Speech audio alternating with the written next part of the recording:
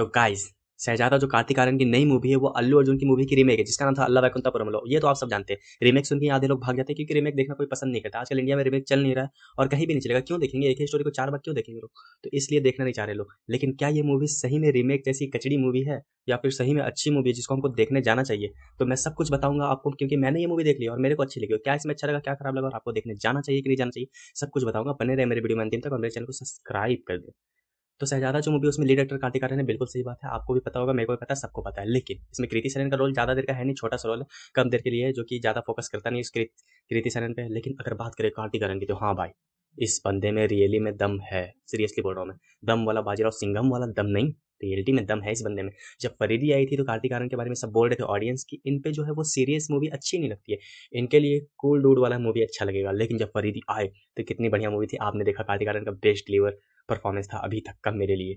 तो वो मूवी सबको चौंका दी। तो कार्तिक आर्यन के अंदर कैलिबर तो है भाई, इसमें कोई डाउट नहीं है। तो यही सहजादा मूवी के साथ हुआ। पर्सनली मेरा भी आप अगर रिव्यू देखे होगे तो आपको पता चला होगा कि मैं बोल रहा था कि कार्तिक आर्यन डिलीवर नहीं कर पाएँगे अल्लू अर्जुन की तरफ़ परफॉर्मेंस इतनी बढ़िया परफॉर्मेंस वो दे ही नहीं सकते हैं। ये मूवी बिल्कुल बकवास निकलेगी फ्लॉप होने वाली जो कि बॉक्स ऑफ़िस पिट रही है। सीरियसली बात है कि हाँ पिट तो रही है बॉक्स ऑफ़िस एंड मैन का ज़्यादा टिकट बुक हुआ है इससे, अगर बात करें तो। लेकिन अगर सही में बोलो तो ये मूवी क्या इतनी खराब थी? नहीं। बिल्कुल अच्छी। कार्तिक आर्यन और कृति सरन का अगर एक परसेंट भी आप गलती निकालने का सोचोगे इस मूवी में तो एक भी नहीं है। ये जो मूवी का कंटेंट है, वो थोड़ा वीक है। क्यों? क्योंकि मूवी का कंटेंट जो है, गोविंदा के टाइम का मूवी का जो, अब अल्लाह आप देखे होंगे का तो उसमें भी नॉर्मल स्टोरी था। वही सेम स्टोरी यहाँ पे भी कि बच्चे की अदला बदली हो जाती है और वही स्टोरी चलता है, जो कि गोविंदा के टाइम में चलता था स्टोरी तो स्टोरी लाइन हाँ वीक है, लेकिन कार्तिक आर्यन और कृति का परफॉर्मेंस नहीं वीक है।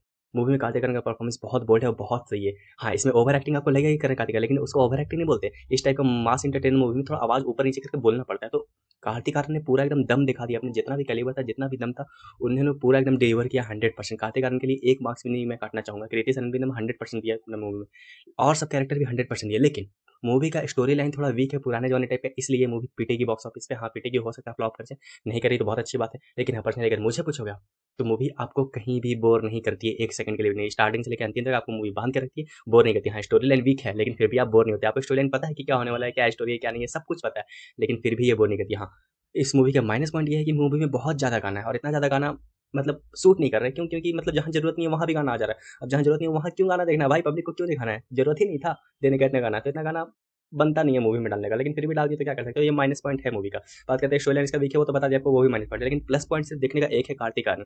तो अगर इस मूवी के सारे अगर ड्रॉबैक हटा दो, जो कि ड्रॉबैक बहुत सारे छोटे छोटे चीज़ें बहुत सारी निकाल तो बहुत सारे, क्योंकि स्टोरी सबसे मेन होता है, जो कि बहुत ही वीक है, जो कि अल्लू अर्जुन की भी वैसी थी। लेकिन अल्लू अर्जुन का मूवी चलेगी क्योंकि साउथ इंडियन में उनका बहुत ही बारी और उसके गाना मेन बात है उसका गाना जो था, वहाँ पर बोर फील नहीं करता था, वहाँ पे लगता नहीं था कि एक्स्ट्रा लोग गाना ज़बरदस्ती ऐड किए। वो गाना उस मूवी का फ्लेवर बढ़ाता था, लेकिन यहाँ पे लगता है कि गाना एक बर्डन की तरह यूज़ किया गया ज़बरदस्ती गाना घुसाने की कोशिश की गई है, जो कि अल्लाह वैकुंतापुरम वालों से लिए होंगे बोलो तो वहाँ पे गाना उसका यूएसपी है, लेकिन यहाँ पे भी लोग यूएसपी बनाने के चक्कर में इसको उल्टा माइनस में लेके चले गए, क्योंकि यूएसपी तो यहाँ गाना बिल्कुल भी नहीं दिख रहा है मूवी के अंदर, लेकिन हाँ।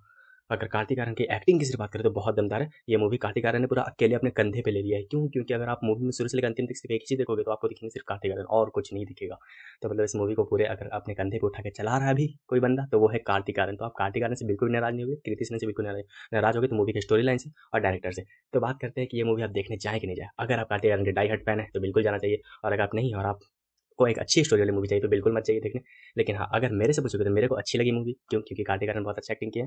बस स्टोरी भी थी, लेकिन हाँ बोर नहीं करती तो हाँ देखने जा, जाना चाहिए मेरे हिसाब से आपको।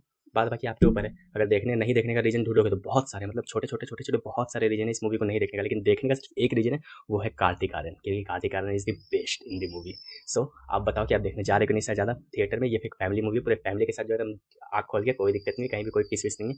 फैमिली के साथ जाओ, देखने जा रहे हो कि नहीं, मुझे कमेंट में बताओ। और अगर मेरे चैनल को सब्सक्राइब नहीं किया तो सब्सक्राइब कर दो।